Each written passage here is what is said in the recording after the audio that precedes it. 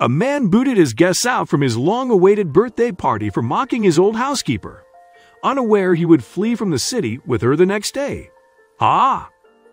My big day is finally here, sighed Joseph as the warm rays piercing his bedroom window tingled his eyes. I hope Mrs. Wills has made everything ready for the party. Joseph was just hours away from cutting his 37th birthday cake. He was excited to have all his friends and colleagues at the party, especially his boss, Samuel. He had been waiting for this day for a long time and wanted everything to be perfect. But poor Joseph had no idea something else would happen on his big day that would urge him to boot out his esteemed high profile guests in favor of his old housemaid. A slow bass melody filled the party venue in Joseph's living room. Guests started to flock, and there was laughter everywhere. Ah, Mr. Turner? Joseph exclaimed, flaunting his best smile as he approached his boss Samuel for a warm hug. Glad you came. Joe, my day boy, you look dashing. Nobody can tell you're 37. Samuel joked as he entered with his hand on Joseph's shoulder, adjusting his expensive tuxedo to flaunt his cool and rich look. The guests busied themselves with lunch at 62 year old Karen stood at the corner, taking a little break to ease her sore feet. Here, take this wine tray. Will you be able to carry it? One of the waiters asked her. Huh? I'll take it, said Karen as she took the wine tray and approached the guests. She was not used to hearing loud music, let alone sniffing a few puffs while passing by guests who were smoking and chatting. Karen could not endure the smell, but she was determined to serve her boss's guests with a smile. That's when she accidentally tripped on the rug letting go of the tray of glasses that splashed wine on Samuel's expensive tuxedo before shattering on the floor. Oh my god, chef! Joseph gasped as his boss was shocked at his stained suit oozing with wine. The guests dancing around paused and stared at the tragic scene in dismay. Meanwhile, Samuel's fury was something Karen hadn't expected. I am so sis. Yes. Sorry. I will clean it up. I'm so sorry, sir. She apologized aware everybody was staring at her and frowning. Sorry. Will that do any good to my suit, you dirty old crone? Samuel fumed. Do you know how expensive this tuxedo is? Even if you wash and clean all your life, you would never be able to afford this. How dare you ruin my suit? Are your eyes at the back of your head? Karen felt a weird sensation bubbling up her gut.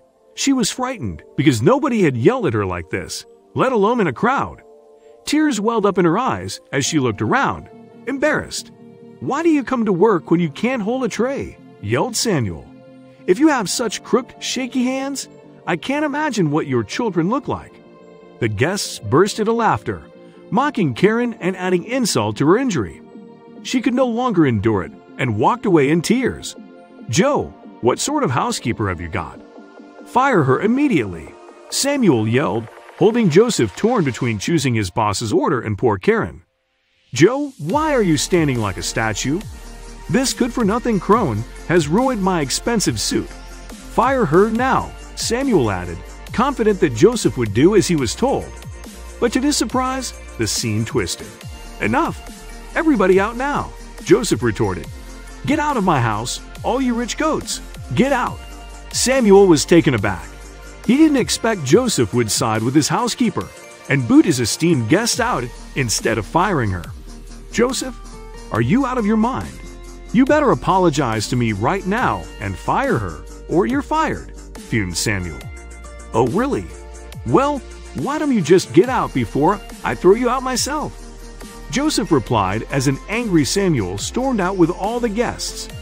The living room, that was filled with laughter and music, a while ago turned grave silent. Mrs. Wills, I am so sorry this happened. Please forgive them. And Joseph apologized to Karen, only to melt into tears after she revealed a heartbreaking truth. I have no children. My only daughter and her husband died in a car accident nine years ago. My husband is bedridden, so I have to work to raise my grandson, Dave. We don't know what weekends and holidays look like. We work daily to keep our little Dave happy, cried Karen.